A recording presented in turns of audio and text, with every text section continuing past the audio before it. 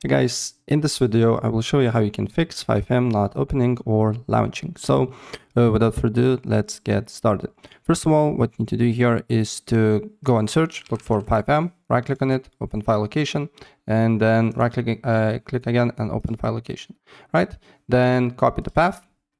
And then once you do that, then go to on search, go to graphic settings. Uh, on graphic settings, uh, you need to select browse here uh, copy paste the path that you just copied, add exe file, and then here uh, go to options and make sure to run as a high performance and don't use optimizations for windowed games. Save the settings and look if the problem persists or not. If the problem persists, open up again search, go to FiveM, right click again, open file location, uh, again well, uh, go to uh, open a file location, and uh, here go to properties.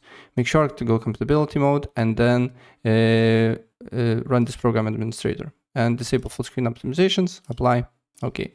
And look if the problem persists or not. If the problem persists, another thing that I suggest you to do here is to you need to make sure that your operating system is full up to date. Go to settings, uh, Windows Update, and then here check for updates. And if there is an update for you that you need to download and install it, please do so. Then you need to go to Windows Defender Firewall. Then you need to go to allow app or feature to Windows Defender Firewall, change settings, uh, browse or allow another app, browse, and then uh, copy, paste the path again and then add the exe file.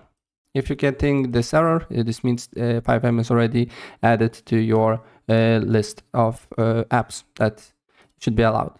Then you need to go to virus and threat protection. Then you need to go to uh, vi uh, virus threat protection, manage settings, exclusions, add remove exclusion, add a folder here, press add exclusion folder and paste the path again here and uh, select the folder, right? And it should appear here. And then you need to look if the problem persists. If the problem persists, uh, you need to clear your uh, cache files of FiveM. Again, go to FiveM, uh, open file location, again, uh, open file location, uh, go to FiveM application data. Then you need to go to crashes. If there is some files deleted from here, then you need to go to data and delete these uh, three files, cache, server cache, and server cache proof, right?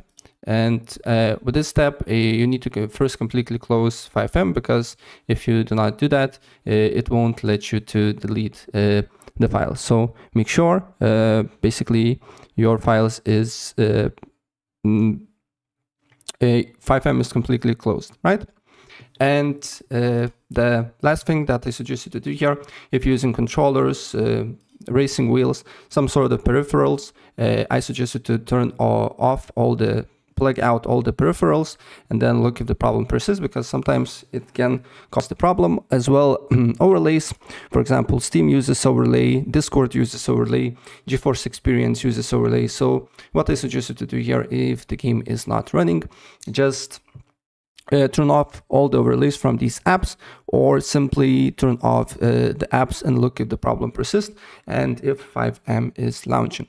And also if you uh, have on your computer a reWASD or DS4 uh, for controller, also try to not use them because it can cause the problem. So just turn, the, uh, turn them off, maybe restart the computer, apply all these changes that I uh, told you here, and then your FiveM should be launching. So yeah, that's pretty much it. If I help you out, please press like button and subscribe for more. Take care.